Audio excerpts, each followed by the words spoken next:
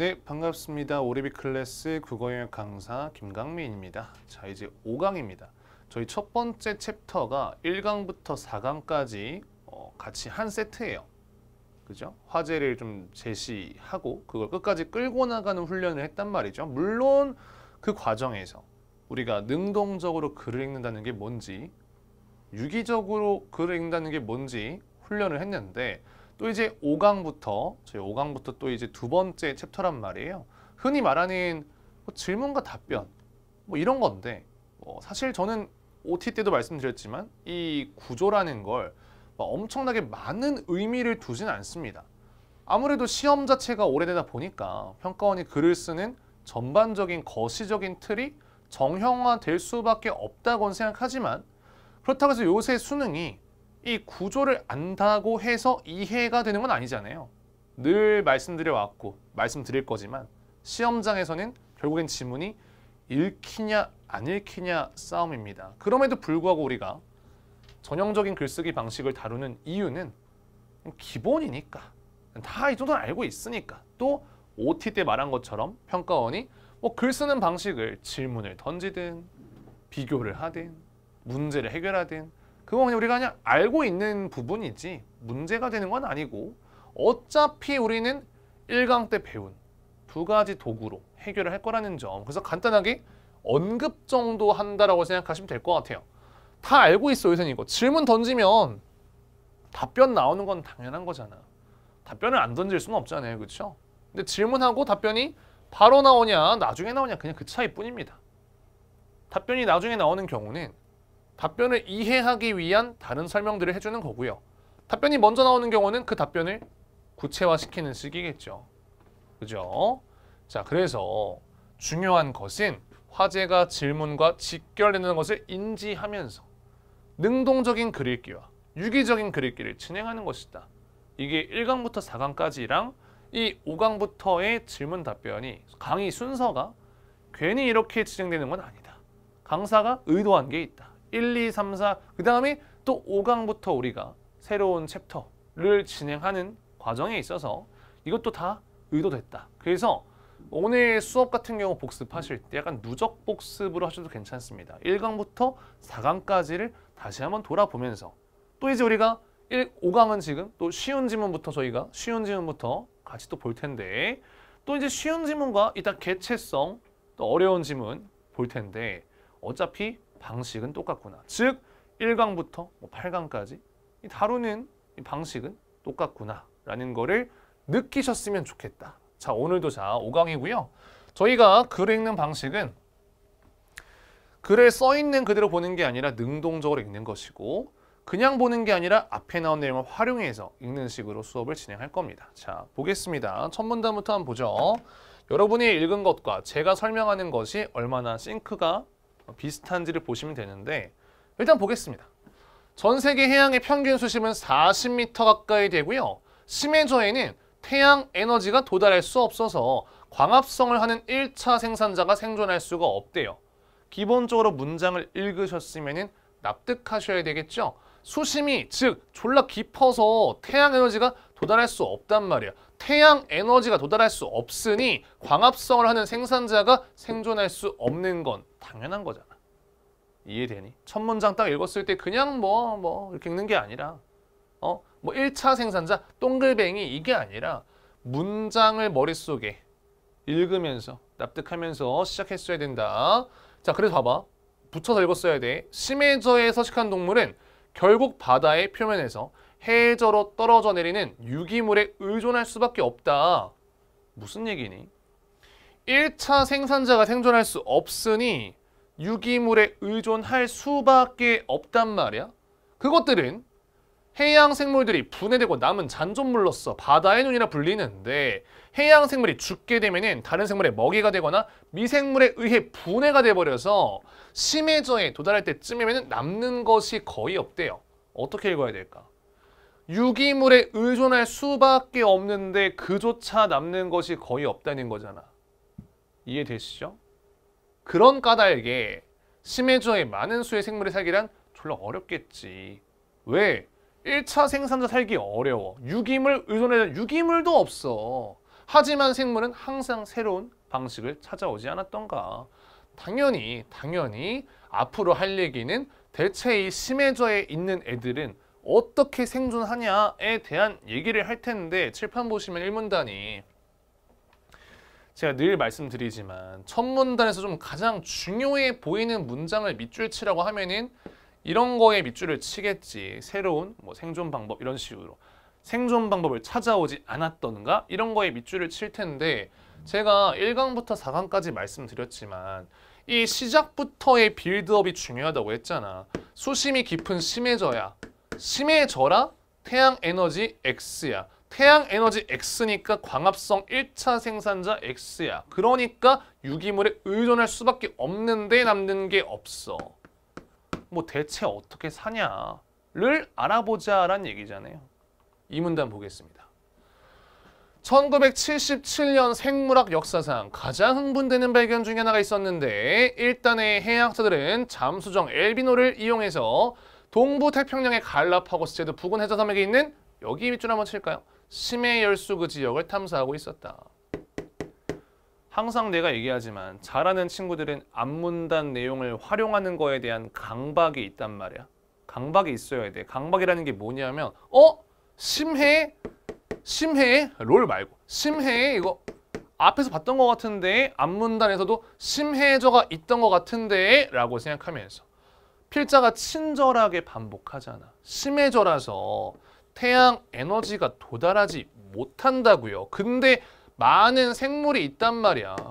그럼 잘하는 친구들은 당연히 생각하겠지. 아, 이 갈라파고스 제도 부근의 해저 산맥에 있는 이 생물들이 대체 뭐 어떻게 살아있는 거냐에 대한 얘기를 하겠구나. 이 문단 보시면 칠판 볼게요.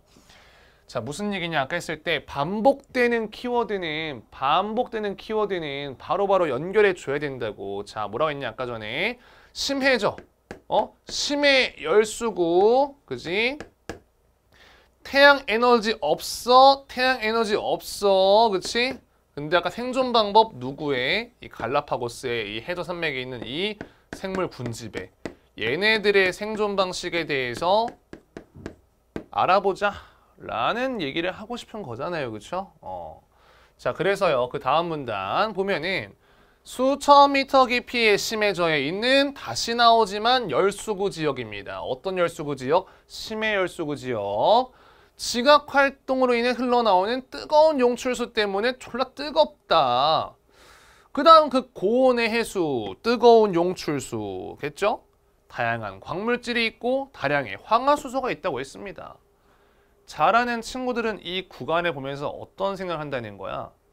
뜨거운 용출수가 어쩌고 황화수소가 어쩌고 이 얘기를 왜 하는 건데 그치? 이 얘기를 왜 하겠어 필자가 의도가 뭐겠어요 당연히 앞에서 얘기한 그 심해 열수구 지역에 있는 그 생물의 군집이 생존하는 방식이랑 뭐 이 용출순지, 해순지, 황화수소인지가 관련이 있으니까 설명을 해주는 거겠죠. 제가 이제 문학 강의에서도 이 얘기를 분명히 할 텐데 국어를 잘하고 싶으시면은 눈치가 있으셔야 돼. 눈치가 빠른 애들이 국어도 잘해요. 아까 얘기했잖아. 이 얘기를 필자가 왜 하겠냐고. 그냥 또 눈치 없는 애들은 그냥 어 용출수 뜨거워 이러면서 어 황화수소가 뭘까? 황화수소의 그 화학식이 뭘까? 이상한 거 궁금해 하는데 잘하는 친구들 어떻게 한다고? 자 칠판 보시면은 잘하는 친구들은 봐봐. 이, 이 심해 열수구 지역에서는 지각 활동을 하고 지각 활동에 따른 뜨거운 용출수가 나오고 황화수소가 있대. 당연히 얘네들의 뭐랑 관련이 있어야 돼? 이게 생존 방식이랑 관련이 있겠거니라는 생각 정도는 기본으로 하신다고 국어 잘하는 친구들은 이게 그래서 생존 방식이랑 무슨 상관이 있는 건데 라는 생각은 기본으로 하신다고 그 눈치라는 건 말이야 얘들아 눈치라는 게 뭐냐면은 필자가 이렇게 얘기했을 때 이 얘기를 왜 하는 건지 의도를 신경 쓰는 거란 말이야. 예를 들면 강민이가 대학교를 갔어요. 대학교를 갔어. 대학교 가서 여사친이 생겼어. 여사친이 강민이한테 그러는 거야. 딱 말투가 딱 이렇게 해가지고 어, 강민아 너 그 옷 되게 좋아하나 보다. 이런 식으로 얘기했어 너 그 옷 되게 좋아하나 보다. 맨날 입는다. 라고 했을 때자 여기서 문제입니다. 이 말의 의도가 뭘 것 같아? 1번 강민아 너 그 옷 참 좋아하는구나. 그 옷이 참 예뻐. 이게 1번. 2번은요. 그 옷 대체 왜 입는 거야? 이거잖아. 의도를 파악해야지. 내 문학할 때 얘기 많이 할 거거든요. 강민아 그 옷 너 되게 좋아하나 보다 라고 했을 때 맞아 나 이 옷 좋아해 막 이러면서 신나가지고 너도 입을래? 이러면 바로 찐따 되는 거잖아 그치? 이 얘기 왜 한다고? 당연히 생존 방식이랑 관련이 있으니까 필자가 하는 거라고 그죠? 여러분들이 눈치가 빠른 학생들이라면 비문학 실력도 금방 늘 거다 그지? 그 다음 문단 보겠습니다 심해 열수구 지역의 우점종 우점종이 뭐니? 우정익이냐? 우점종은 우세를 점하고 있는 종이겠죠? 리프티아라고 불리는 커다란 관벌레인데 매우 독특하게 진화된 영양 방식을 갖고 있어서 입이나 소화기관이 없대요. 그죠? 우정익이냐면 우정익이라는 유튜버가 기분 나쁘려나? 우정익 씨냐? 라고 해야겠네. 우점종. 우점종이지. 우세를 점하고 있는 종은 리프티아. 독특하게 진화된 영양 방식. 야, 뭔 얘기 하려고 하는 거겠어. 당연히 리프티아의 이 생존 방식 말하려고 하는 거 아니겠어? 우리 눈치 있잖아요. 그 대신에 관벌레는 영양체라고 불리는 특수한 기관이 있는데 그 안에는 세균이 있대. 어쩌라고, 그치? 세균이 있는데 어쩌라고. 이게 생존이랑 관련이 있으니까 얘기하겠지. 리프티아의 몸통은 기다란 관의 안쪽에 들어있대요. 이런 거 보면 우리 좀 뭐 어렵겠지만 이미지로 좀 떠올려 보자. 몸통이 기다란 관의 안쪽에 들어있대. 관이 얘들아 뭐 이런 관 얘기하는 걸 리는 없잖아. 이런 관은 아니겠지, 그치? 개소리네. 죄송합니다. 관하면 뭐, 뭐 이런 관 안쪽에 몸통이 있는 건가? 약간 좀 떠올리기 어려울 수도 있어. 근데 과학 지문 같은 경우는 이미지로 떠올리는 게 되게 중요하거든요. 어, 이따가 우리 또 다른 과학 지문에서 얘기하겠지만 이미지로 좀 떠올려주는 게 중요해. 그래서 바깥쪽 돌출된 밝고 붉은색의 깃털 구조래. 깃털 물론 깃털이 진짜 이 새 깃털처럼 생기지 않았는지 아니면 진짜 깃털인지는 모르겠지만 아무튼 간에 이 깃털 구조 사실 실제로 모르니까 아가미 같은 역할 해가지고 뭘 뭐 교환한다고 하는데 우리 구면인 게 있네. 뭐가 구면이니? 황화수소가 구면이잖아요. 그죠? 우리 처음 보는 거 아니면 당연히 연결해 줘야 된단 말이야. 어, 황화수소? 반갑다, 그지? 교환한다. 관벌레의 순환계는 매우 잘 발달되어 있고 순환계 속의 혈액은 황화수소와 잘 결합하는 헤모글로빈을 포함하고 있대요. 음, 황화수소랑 뭐 잘 결합하는구나. 결합해서 어쩌라고. 결합해서 그 황화수소를 세균한테 공급할 수가 있대요. 이해되니? 황화수소랑 결합해서 그거를 이 세균한테 공급할 수가 있대. 세균은 뭐 하는데? 관벌레한테 먹이가 될 유기물을 공급한대. 관벌레는 황화수소를 준대. 여기서 뭐야? 잘하는 친구들은 뭐야? 답이 나왔다 이거지, 그치? 칠판 보시면은 그 필자가 대놓고 얘기하진 않잖아. 그렇지? 뭐라고? 이게 바로 관벌레의 생존 방식이야 라고 얘기하진 않잖아. 여러분의 여사친 여러분 보고 야 강민아 그거 졸라 구려 입지 마 라고 하진 않잖아. 우리가 알아서 파악해야지 그치? 리프티아 관벌레 이미지 표현하고 관벌레는 세균한테 뭘 준다는 거야? 황화수소를 준다는 거지. 황. 세균은 관벌레한테 뭘 준다는 거야? 먹이를 준다는 거지. 이게 뭐라는 거야? 이게 천문단에서 얘기한 바로 심해저에 사는 태양 에너지가 없는 1차 생산자가 없는 유기물도 없는 거기 있는 애들은 이런 식으로 생존을 한다는 거잖아. 생존 방식에 대한 답이 나왔네요. 그죠? 라고 말하지만 사실 저도 양심 고백하자면 대학교 때 여초과였지만 여사친 한 명도 없었습니다. 왜 그런지는 제가 수업하는 것만 알겠지만 제가 좀, 좀 뭐라고 해야지? 말을 좀 험하게 해요. 약간 여러분들. 나쁜 마음으로 그런 건 아니거든. 내가 강의 평가 받을 때 학생들이 그러더라. 강의 내용 좋고 뭐 다 맞는 말 하는데 말투가 다소 시니컬해가지고 호불호가 갈릴 수 있다. 뭐 어떤 애들은 뭐 호일 수 있는데 호. 어떤 애들은 막 불호일 수도 있어. 어, 뭐 아까 누가 그러던데 막 월클병 걸린 것처럼 강의한다고. 라고 느꼈으면 죄송해요. 제가 좀, 좀 이제 빠져나갈 구멍. 제가 좀 이 팁이라.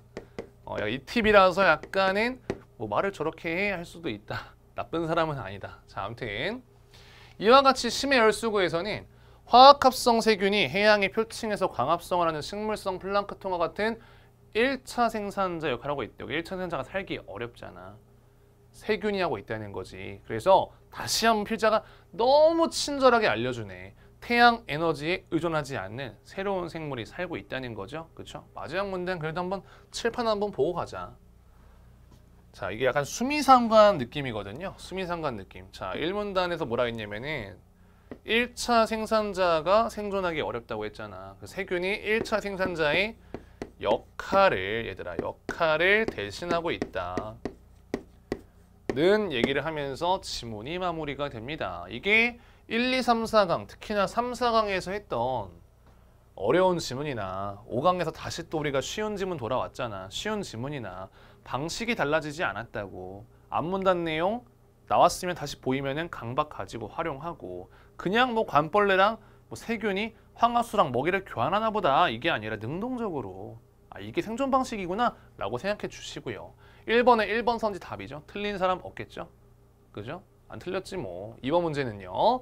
기업과 니은의 관계는요. 서로 호혜적이라고 하죠. 있어 보이게. 좀 도움을 주는 관계잖아. 열대 산호초에 사는 놀래기는 곰치의 입안에 남아있는 찌꺼기나 곰치의 표피에 있는 기생충을 먹고 산대. 이거 놀래기 입장에선 좋은 거잖아. 곰치야 네 찌꺼기 먹어도 돼 하면 곰치가 찌꺼기? 기생충도 먹어줄래? 어, 알겠어 곰치야. 호혜적인 거 맞나? 호혜적이긴 하죠. 서로 도움이 되니까 2번 선지가 정답이 됩니다.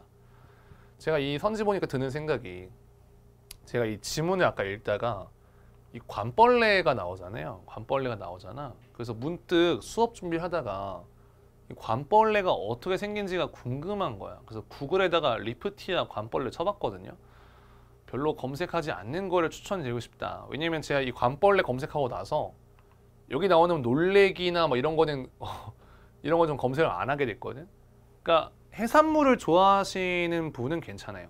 뭐 리프티아 했을 때 구글에다가 치면은 해산물을 좋아하는 분들은 괜찮을 수 있거든. 막 먹을 수 있나 이러면서 저는 해산물을 별로 안 좋아해. 그래서 구글에 리프티아를 검색하고 나서 약간 좀 좀 약간 불쾌해졌거든요. 왜냐면 저는 회랑 초밥 말고는 잘 못 먹어. 그래서 막 만약에 리프티아를 검색하실 거면은 막 본인이 그런 성향이어야 돼.